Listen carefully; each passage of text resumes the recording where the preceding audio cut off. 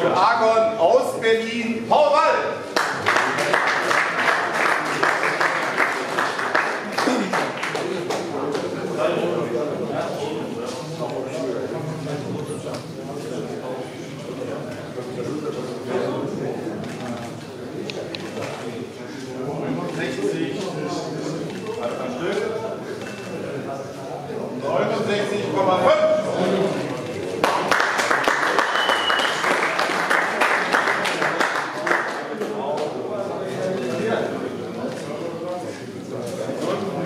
jetzt nach vorne.